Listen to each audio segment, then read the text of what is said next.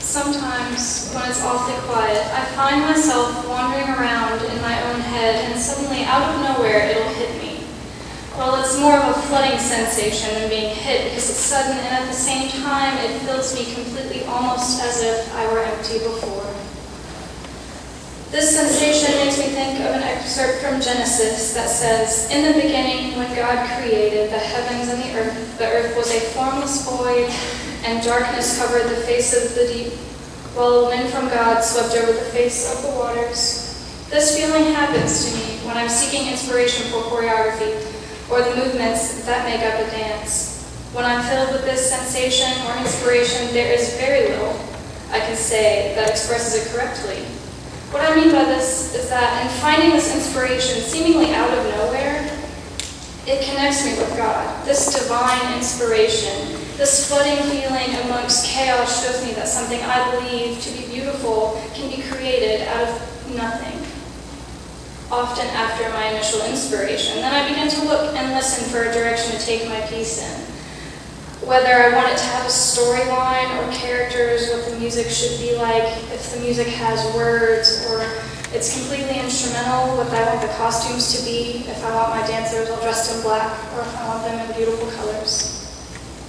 The next step is like a simple prayer, and I mean more than just, please God, don't let me screw this up. a prayer in which I listen for a new direction that I have not yet explored, a prayer in which I seek reassurance and the confidence to be vulnerable in front of an audience. This kind of vulnerability is vital in being an artist because you realize that not everyone is going to interpret or appreciate your work like you do. So in essence, creating a dance and having it performed either by yourself or a group of strangers or friends is like taking a leap of faith. and trust me, I have taken many of those the first time I ever did a solo. In front of people, I was completely terrified and would have much rather been hiding under a rock rather than to be performing my own choreography by myself. But then a funny thing happened. During the first seconds of being out on stage, my fear went away and my body took over, which was a miracle all in itself.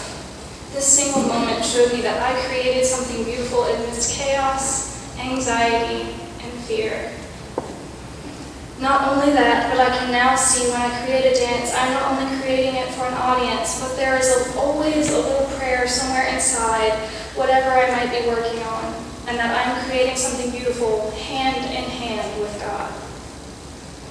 But going back to this whole concept of letting go of the fear and doing it anyway, I can honestly say that this not only applies to dance, but in my passion for human rights and equality, and it's something I have learned here at College Park and in the youth group. So now every time I get ready to take that leap of faith, whether it's going out on stage in front of a bunch of people or standing up for what I think is right, I have a loud voice inside my head telling me not to be afraid and that I am never alone.